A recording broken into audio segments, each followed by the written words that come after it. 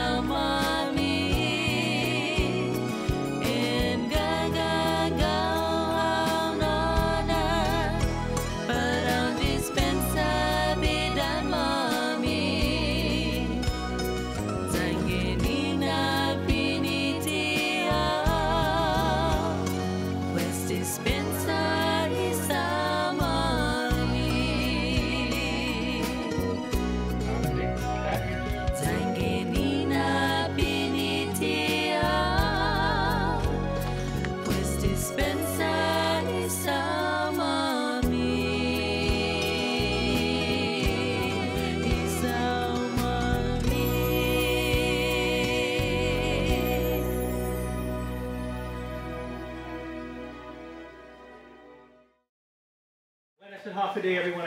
Again, I want to acknowledge and welcome our host and thank you, our host, Mayor Rudy Matanane and the people of Yigo.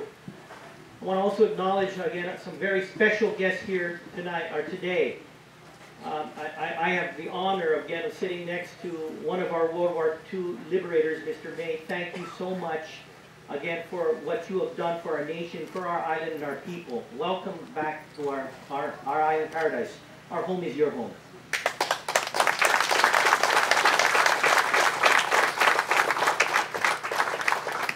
Again, I want to acknowledge uh, all those that are here present that are survivors of World War II and the families of those uh, that again that paid the ultimate price today in this the massacre site for Chiguitan.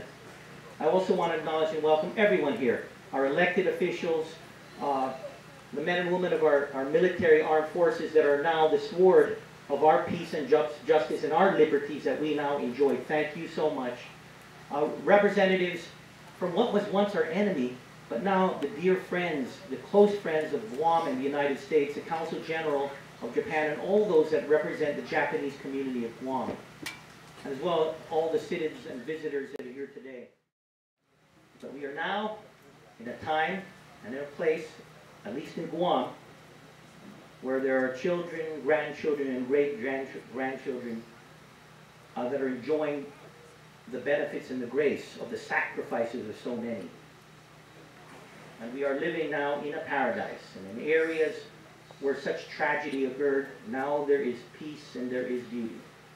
And I guess the lesson for all of that, as we are here today and these generations moving forward, is treasuring what we have, treasuring freedom and liberty that so many have paid so heavy a price. But there's also faith in humanity and mankind, that who were once enemies are now friends. And what was once destruction is now progress and peace.